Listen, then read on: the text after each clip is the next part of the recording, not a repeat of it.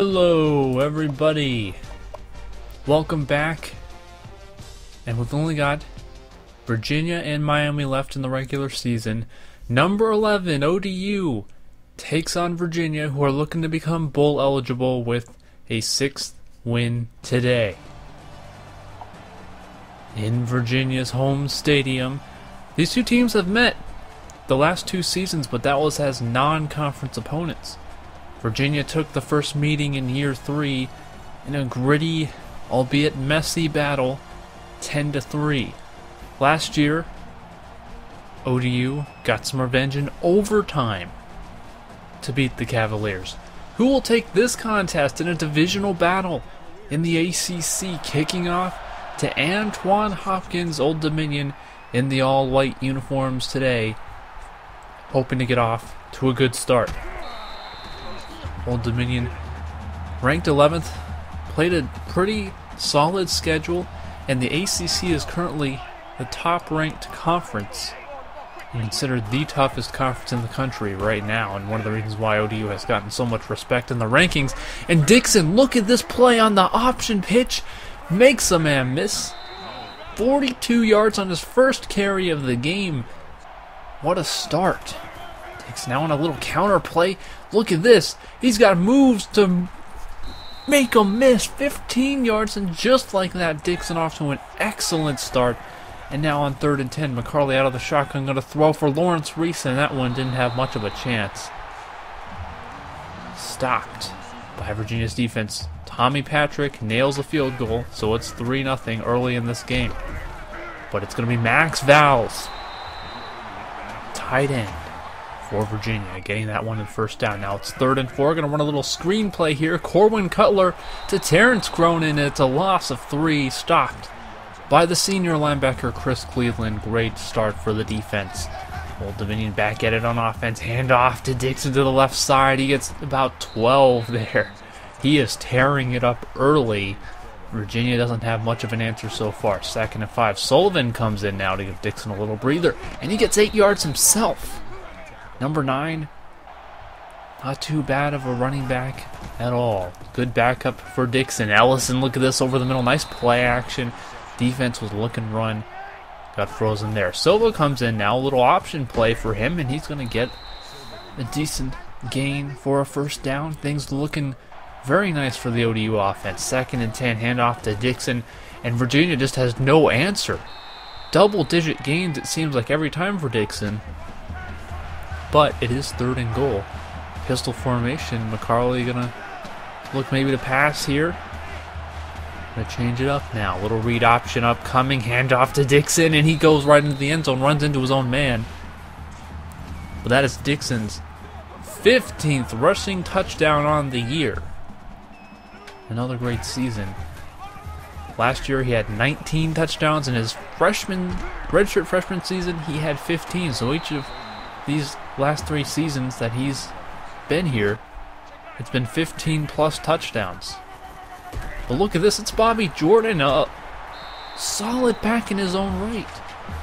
Jordan and Cronin, the two running backs that get a lot of the action for Virginia, are going to be tough cookies to watch today. That's right, I called them cookies. Virginia's drive stalls there. Start of the second quarter now. McCarley's going to find Todd Jackson.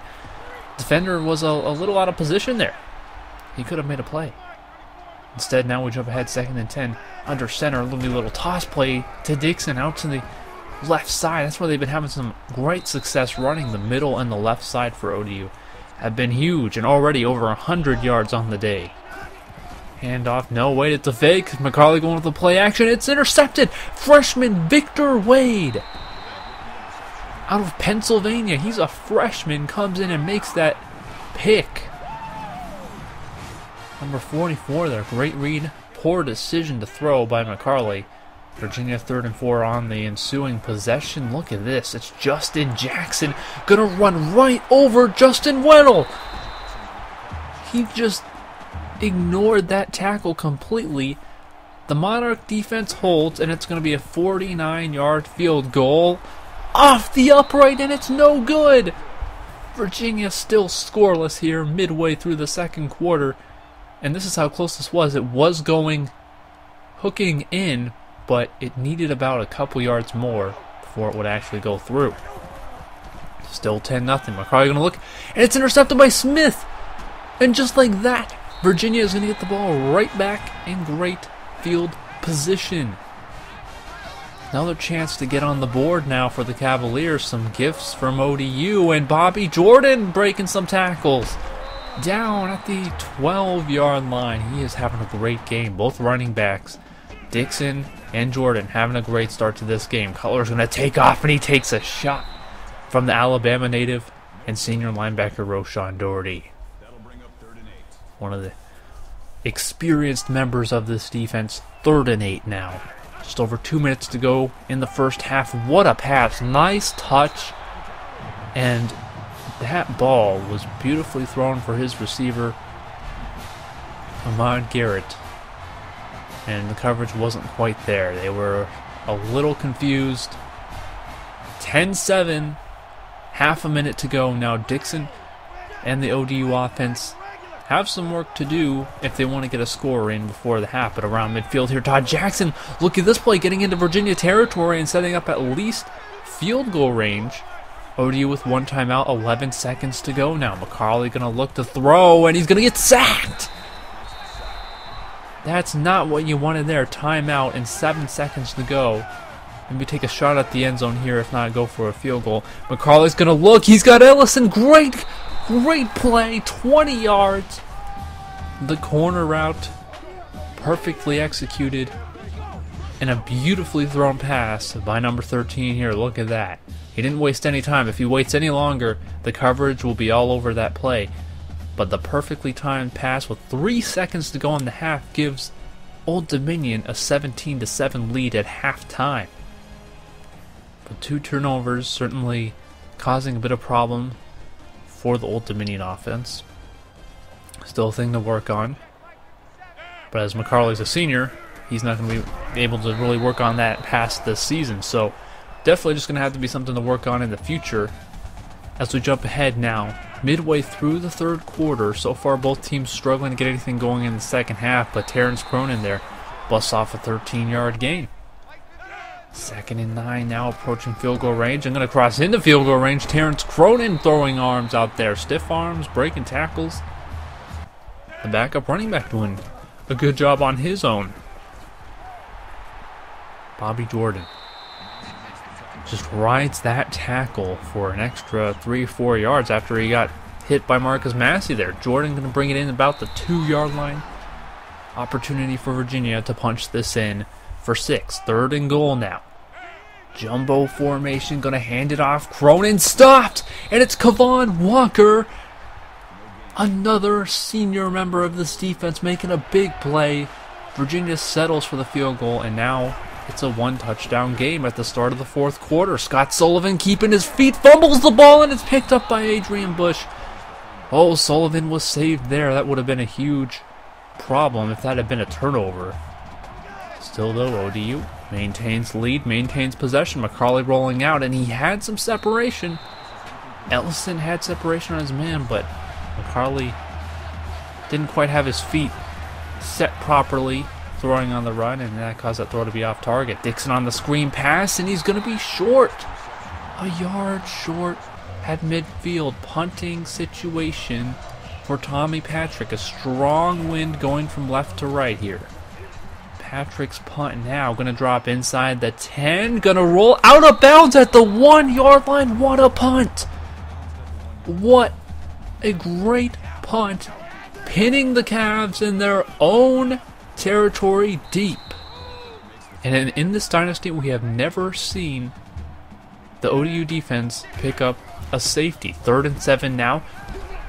It's his man, Justin Jackson, one of his favorite targets gets breathing room for the offense. They get out of that situation deep in their own territory, but Rob Thompson lays Bobby Jordan out. Third and one now. Cutler gonna throw, finds Knox. Another tight end getting in on the action. 20 yards. They keep this going. Three minutes to go in this fourth quarter. Third and one. Cronin handoff to the right side. Look at this. Throwing the stiff arm. 14 yards.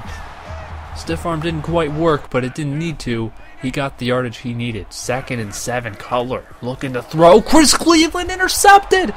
Cleveland down the sideline. If he can beat the quarterback, he has a chance. He's going to be brought down there.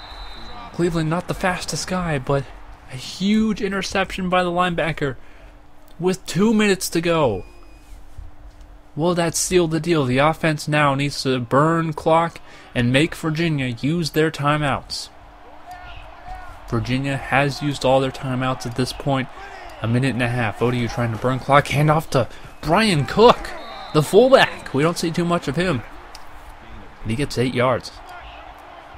Under a minute now. Second down. McCarley out of the pistol. Hands off to Dixon. Dixon's got room. He's going to go all the way. Diving. Cheesy dive. Into the end zone. This will put it away, ladies and gentlemen. 24 10. Old Dominion secures the victory. It wasn't the easiest of wins, but Dixon 173 yards and two touchdowns. Also had a reception for 9 yards. Great day for him. And he is currently third in the Heisman watch. So if he puts in a, a, a great performance against Miami, there is a, a small chance he could actually walk away with the Heisman in his junior season here. But uh, he might have to really put in something special because a couple players ahead of him are looking very good to win that trophy. ODU picks up their fourth ACC win after starting 0 3 in conference play. The Monarchs 8-3 now, 4-3 in the ACC. No chance of winning a division title, no chance of playing in the conference championship game. But the next game, the final game of the regular season, could have a big impact on which bowl game Old Dominion goes to. A win against Miami could see them get slotted into a very good, prestigious bowl game. A loss might knock them back a few notches on the bowl chart. It's going to be a big game. It's on the road. Miami's a tough team. And Miami currently ranked 20th in the country. So it's going to be a top 20 matchup. As we get a look at the team stats, pretty equal stats uh, for the most part across the board. You know, both teams similar yardage, same amount of first downs, all that. So here's the top 25 as we move into the final few weeks of the season here. TCU, the final undefeated team. Nobody else is undefeated. San Diego State lost. They were the other team that was undefeated until they lost. And ODU, we have moved up to number eight in the country, the highest Old Dominion has ever been ranked, finally into the top 10. And this isn't even the best season that ODU's ever had, so that's that's saying something. Next up, guys, number 8 Old Dominion at number 20 Miami. Regular season finale. I will see you guys all then.